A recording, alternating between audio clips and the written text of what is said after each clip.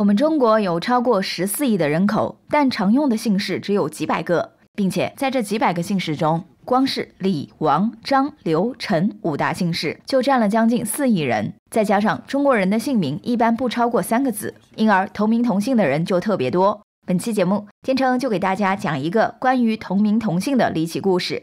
故事还要从一位名叫周刚的青年人说起。周刚今年二十多岁，是一名普普通通的打工人。这天，他乘坐离乡的火车前往外地打工。在火车上，周刚被一位坐在自己对面的陌生男子吸引住了目光。男子看上去三十多岁，气质沉着稳重，像是一名成功人士。此时，陌生男子正在接听一个商务电话，从通话的内容可以听出，对方正在和客户洽谈一笔价值千万的生意，这让打工人周刚立时露出羡慕不已的表情。等到男子挂断电话后，周刚主动与其攀谈起来。希望对方能对自己的职业方向指点一二。男子见周刚老实诚恳，也就打开话匣子，跟他说起了自己一年前的一段匪夷所思的经历。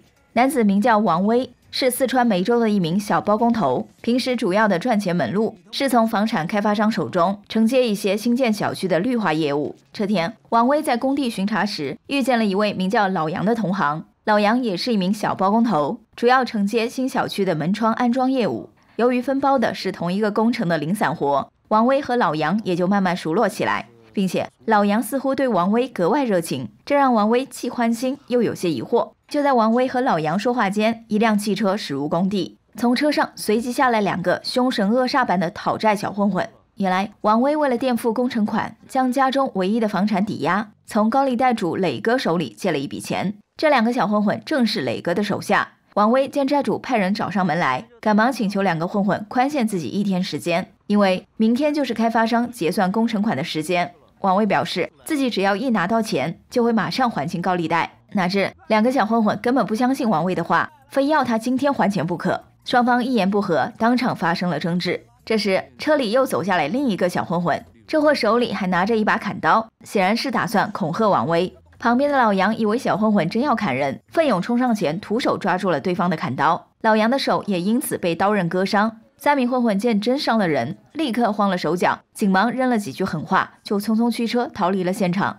小混混们离开后，王威赶紧驱车载着老杨前往附近的医院包扎了伤口。回来的路上，老杨发现自己刚才不小心让王威穿着的白衬衫上沾染了一些血迹，于是赶紧向王威道歉。王威自然不会将这种小事放在心上。为了感谢老杨出手相助，他还主动邀请对方去附近的饭店吃点东西。但老杨勤俭惯了，不想王威破费，没有答应去饭店，而是执意拉着王威来到自己的出租屋。两人随后简单煮了一锅菜，配着散装白酒，有滋有味的边吃边喝起来。酒过三巡之后，王威再次对老杨表达了感谢，并声称要给光棍一条的老杨介绍个老伴。可老杨似乎另有心事，直接婉拒了王威的好意。紧接着，他拿出一张破旧的银行卡，请求王威帮个忙，将这张银行卡送去贵州，交给一个名字同样叫王威的二十多岁年轻小伙，并告诉对方卡的密码就是他的生日。对于老杨的这个请求，王威感到极为困惑。如今的快递业务不仅快捷，而且安全可靠，老杨为何不直接将这种银行卡快递给这个名叫王威的小伙呢？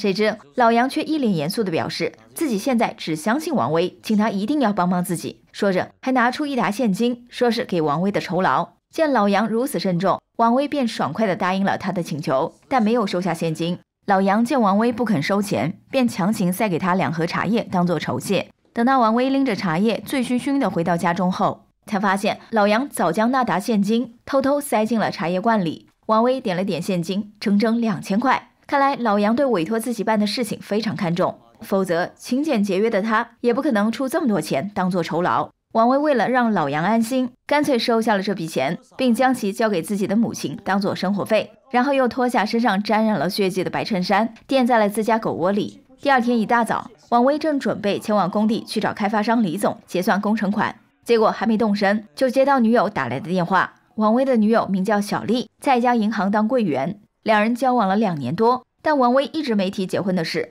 这让年龄越来越大的小丽十分不满。她此次打电话来，就是催促男友给个准信，因为她刚刚发现自己已经意外怀孕。王威得知这个消息，立时有些发懵。其实他也想早点跟小丽结婚，无奈现在欠着几十万高利贷，在还清这笔钱之前，两人根本没有能力筹办婚事。小丽见男友仍旧采取拖延战术，忍不住与其大吵一架后，才挂断了电话。郁闷的王威随后来到工地，刚好看到开发商李总从一辆豪车里走出来，于是赶忙上前拍了几句马屁，想让对方尽快给自己结算款项。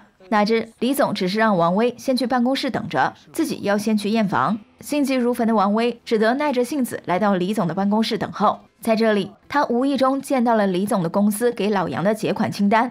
老杨承包的门窗业务总共收取了七十二万工程款，看来李总的公司资金相当充足，这让王威感到一丝宽慰。或许李总等一会儿回来就会将款项全额支付给他，只要拿到这笔钱，不仅能还清高利贷，还可以马上向女友求婚。想到这里，王威的情绪一阵兴奋。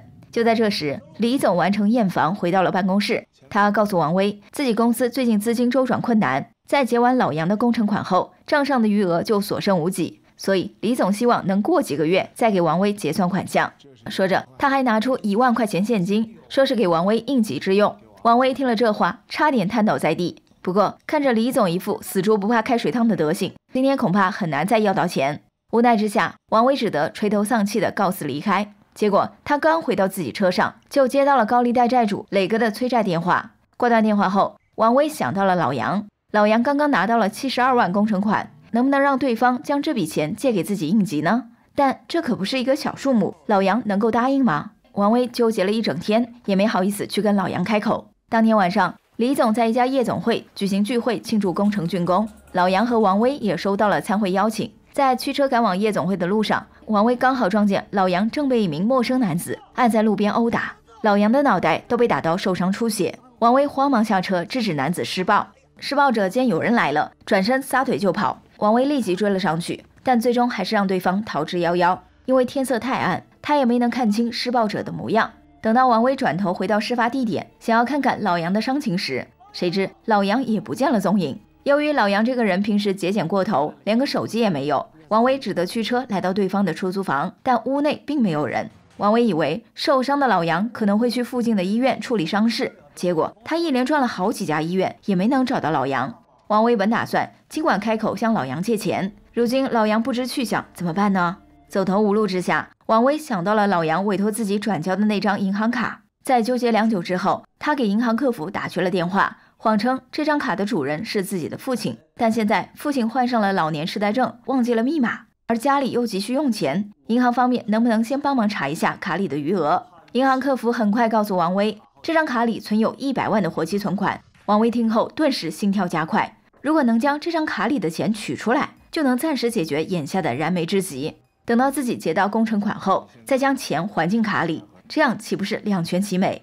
问题是，怎样才能取出老杨卡里的存款呢？王威马上想到了自己在银行当柜员的女友小丽，以及李总公司给老杨的结款清单。王威当时注意到，结款清单上附有一张老杨的身份证复印件，而小丽就职的单位刚好跟老杨这张卡的发行行是同一家银行。或许有了老杨的身份证复印件，就能让小丽帮忙将卡里的钱取出来。想到这里，王威再次驱车来到工地，先是从李总办公室里偷出了老杨的身份证复印件，然后来到银行找到女友小丽，将自己目前的困境和想法如实相告，但却遭到了小丽的断然拒绝。私自提取他人存款不仅违规，而且违法。小丽不敢相信自己的男友竟然如此胆大妄为，直接将其轰出了银行。筹钱无果的王威只能硬着头皮去找自己的债主磊哥。据说磊哥眼线众多，或许能帮忙找到老杨。在见到磊哥后，王威向其谎称老杨亏欠自己一大笔钱，如今不知所踪。只要能找到老杨收回欠款，他就能连本带息还清磊哥借的高利贷。说着，王威还向磊哥出示了老杨的身份证复印件。磊哥倒也痛快，立即吩咐手下人前去调查老杨。结果发现老杨的身份证系伪造。不仅如此，磊哥的手下还查出，平日里老实巴交的老杨，实际上竟然是警方的通缉要犯。王威对此大为吃惊。一时之间没了主意，磊哥对其威胁一通之后，勒令他三日之内必须还钱，否则就要将他抵押的房产变卖抵债。告别磊哥之后，王威左思右想，最后决定去一趟贵州，找到那位跟自己同名同姓的年轻小伙王威。只要问出这哥们的生日，就等于知道了老杨银行卡的密码，从而将卡里的钱先取出来救急。想到这里，王威回到家中，简单收拾了几件行李，并对母亲谎称自己去外地出差几天，然后就循着老杨给其留下的地址，驱车来到贵州的一个偏远村庄。为了避免引起怀疑，他并没有直接去找那位同名同姓的王威，而是买了一堆礼品，假冒成慈善人士，向村长打听到了不少消息。原来，老杨原名叫王国富，是这个村的村民。他此前提到的年轻小伙王威，其实就是他的儿子。二十多年前，老杨因为一点点琐事，跟隔壁的一位男邻居发生争执。男邻居造谣老杨妻子偷人，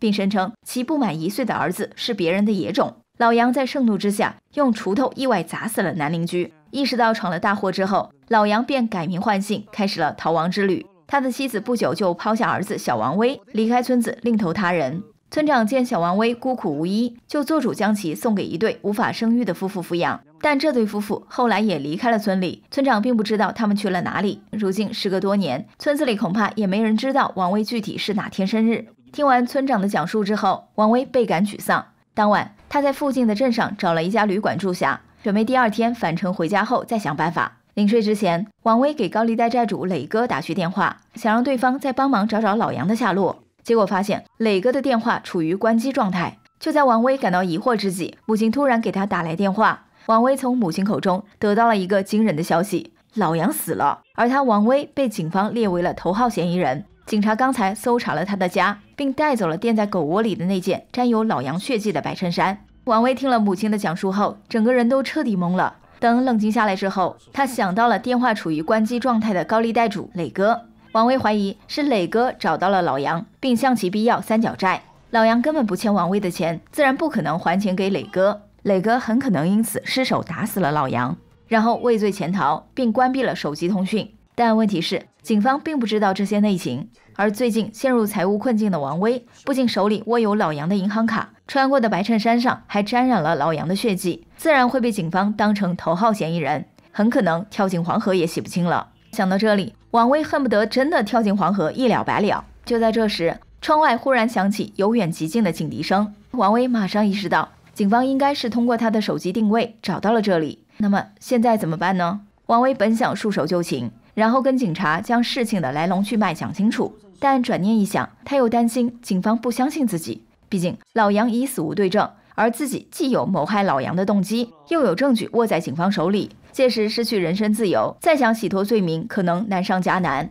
为此，王威当机立断，扔掉了手机，逃出旅馆。由于担心警方追踪到车牌号。他连自己的车子都没开走。王威的故事刚讲到这里，就被查票的乘务员打断。旁边听得入神的周刚立刻变得紧张起来，因为他不知道眼前的王威会不会仍是在逃状态。好在乘务员看了一眼王威的车票，只是提醒他坐错了座位。不过车上目前空位较多，王威暂时坐在此处并不打紧。等到乘务员走后，王威继续向周刚讲起了后续的故事。在逃离旅馆后，王威找了一家洗浴中心休息了一夜。第二天一早，他找到一辆愿意跑长途的黑车，打算前往广西，然后从那里的边境偷渡到越南，先避避风头再说。哪知黑车司机载着王威行至半路，突然接到了家里的一个紧急电话，要他必须立即赶回家中。无奈之下，黑车司机只好跟王威商量，让其就地下车，并表示愿意将车费如数退回。但王威跑路心切，非要让司机将自己送到广西不可。司机见王威胡搅蛮缠，倒也简单，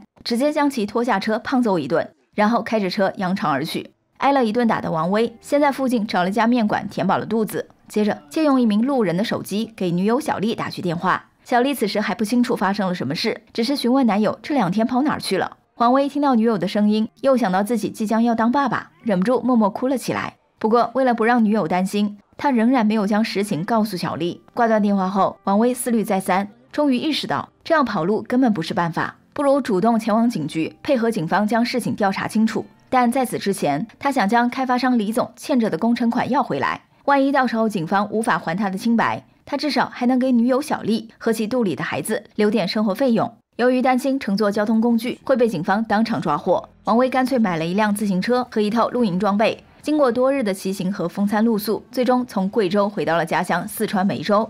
回来之后，王威在去找李总讨要工程款之前，先去了一趟高利贷主磊哥的办公室，想要证实一下自己此前的推测。然而，磊哥的办公室早就人去楼空，只有两名工人正在搬东西。两人告诉王威，磊哥前几日已被警方捉拿归案，像是犯了大案。王威顿感情况不妙，如果真的是磊哥杀死了老杨，那么就等于是他撒谎，间接害死了老杨。这样的话，他即便以后不负刑事责任，恐怕余生也会遭到良心的谴责。想到这里，王威感到自己的人生已没有希望。现在他唯一想做的事，就是找开发商李总将工程款要回来，然后安顿好自己的女友和母亲。当天傍晚时分，王威带着一把水果刀潜入李总办公室，在其胁迫下，李总只好打开保险柜准备还钱。王威这才发现，保险柜里塞得满满当当，全是现金。看来李总这货根本不是资金周转困难，只是在故意拖欠工程款。气愤至极的王威刚要发怒，没想到李总居然抄起桌上的一只酒瓶，狠狠砸在了他的头上。好在王威的头够硬，只被砸出了一点皮外伤。盛怒之下，王威将李总暴揍了一顿。挨完打的李总老老实实向王威交代了拖欠工程款的原因。原来这货以前追求过小丽，但遭到了拒绝。如今见到小丽竟然跟财力远不如自己的王威谈婚论嫁，李总妒火中烧，所以才故意拖欠王威的工程款。拿到工程款后，王威情绪复杂的离开了李总的办公室。第二天上午，他用公用电话给女友小丽打去电话，将其约到了一处荒郊野外。见面之后，王威将工程款全都交给了小丽，让她以后好好照顾肚子里的孩子以及自己的母亲，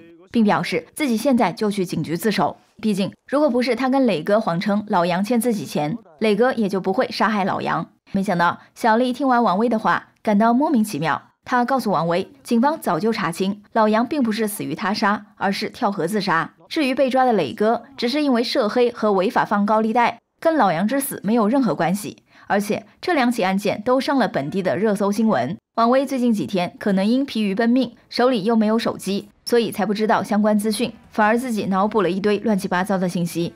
王威在得知自己没有害死老杨后，不禁喜极而泣。随后，他认真祭拜了一下老杨，又将借用磊哥的钱连本带息的还给了磊哥的妻子。事情至此算是告一段落。不过，王威心里还揣着两件事情：一是老杨生前托他交给同名王威的银行卡还在他的手上；二是他想不明白，老杨既然已潜逃二十多年，为什么现在突然自杀呢？这天晚上。王威在开车时突然想起自己车上安装的行车记录仪，或许拍下了老杨遭人殴打时的录像，于是赶忙打开记录仪查看，里面确实存有老杨被打的片段。可惜由于角度问题，记录仪并没有拍下施暴者的正脸，只是依稀可辨对方戴着一副眼镜，手里还拎着一罐茶叶。根据茶叶罐上的标识，王威很快找到了售卖茶叶的茶庄。他本想来茶庄碰碰运气，结果这里戴眼镜的老板一见到他，撒腿就跑。王威立刻意识到，这货就是当日殴打老杨的施暴者，于是急忙追上对方，并将其扭送进了警局。在警方的盘问下，茶庄老板终于坦白了一切。原来他就是当年老杨失手打死的男邻居的儿子，大概是冤家路窄。几年前，邻居儿子意外撞见了杀父仇人老杨，并开始不断向其勒索。当时的老杨已混成小包工头，无法丢下谋生的工作一走了之。但一次次的被勒索，加上多年颠沛流离的逃亡生活，已让老杨精疲力尽、心灰意冷。因而，他最终决定委托王威，将全部积蓄交给自己亲生儿子，然后选择了跳河自杀。王威的故事讲到这里，也就全部结束了。这时，听得津津有味的周刚不禁好奇地追问王威：他究竟有没有找到老杨的儿子，也就是另一个王威呢？而另一个王威又是怎样的一个人呢？王威没有直接回答周刚的问题，而是说了一句像是半开玩笑的话：“另一个王威跟你很像。”接着，王威又反问周刚：“你觉得老杨是一个什么样的人？”周刚想了想，说出了自己的观点。他认为老杨虽然做错过事，但总体而言还算是一位好父亲。听到这个回答，王威露出欣慰的表情。这时，火车停靠在中途站点，王威表示自己已到站，并跟周刚道别后下车。王威离开后，周刚突然发现对方将一张破旧的银行卡遗落在自己的座位上。短暂的恍惚之后，周刚仿佛想通了一切，露出如梦方醒的表情。而另一边，走出站台的王威从口袋里掏出一张收养证明的复印件，上面的内容显示，老杨的儿子在被收养后就被养父母改名叫周刚，正是刚才倾听王威讲故事的青年小伙。两人的这一次相遇也不是偶然，而是王威寻觅许久的结果。他终于不负重托，完成了老杨的遗愿。本期的故事来自于一部极度冷门的国产小成本悬疑片《同名男子》，讲述了一个关于人与人之间命运交织的故事。没有特别激烈的剧情冲突，也没有刻意的反转，但却拍出了人情百态和市井风情。其中有良心丧于困地，信用失于贫家的悲哀，也有一诺千金、千里不留行的豪迈。或许这就是属于我们普通人的传奇吧。我们终其一生都想做个好人，但时运不济、走投无路的时候，我们也会想着能不能偷偷做一些没有什么危害和后果的坏事，来帮自己渡过难关。好啦，今天的故事就到这里吧。大家觉得还有哪些剧情比较优秀的国产悬疑类电影值得解说？欢迎给我们留言。下期见。